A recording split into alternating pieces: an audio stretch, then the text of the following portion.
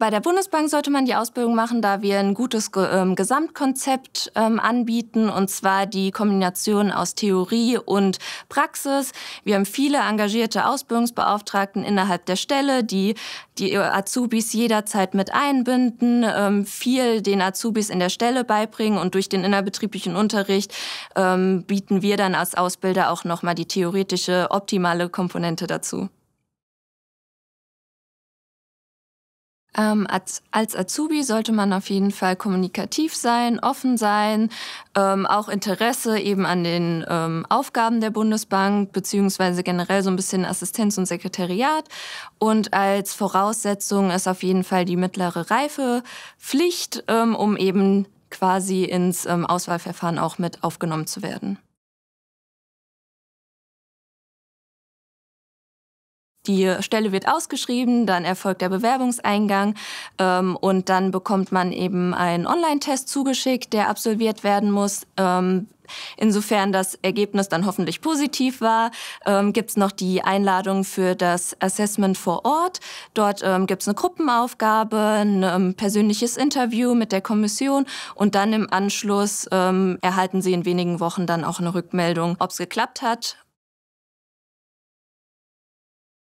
Die Ausbildung ist grundsätzlich in ähm, allen Hauptverwaltungen der Bundesbank äh, möglich. Also wir haben neun Hauptverwaltungen, beispielsweise in Berlin, Hamburg, Mainz und dort ist eben auch die Ausbildung möglich. Berufsschule ist auch immer standortbezogen. Also bei uns hier in der Zentrale in Frankfurt ist sie eben auch in Frankfurt. Ähm, und im Blockunterricht bedeutet ähm, so ein halbes Jahr ungefähr Praxisphase innerhalb der Zentrale und dann nochmal so vier ähm, bis sechs Wochen Berufsschule und das immer im Wechsel. Der innerbetriebliche Unterricht ist quasi nochmal da, ähm, um Schwierigkeiten auszubessern oder auch, ähm, dass wir sie vorbereiten auf einzelne Blöcke in der Berufsschule. Auch ähm, gehen wir mit Lehrgängen intensiv nochmal in die Abschlussprüfung rein. zum einen der Abschlussprüfung Teil 1, der ja am PC stattfindet mit Word und Excel und die Abschlussprüfung Teil 2, die dann schriftlich ist in Rechnungswesen. Da sind personalwirtschaftliche Themen drinne und auch Wirtschaft und Sozialkunde und dann auch nochmal die mündliche Prüfung.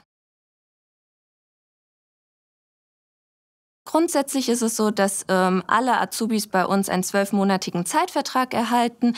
Dann ähm, gibt es noch die Chance ähm, darauf, dass sie sich ähm, für eine unbefristete Übernahme qualifizieren können.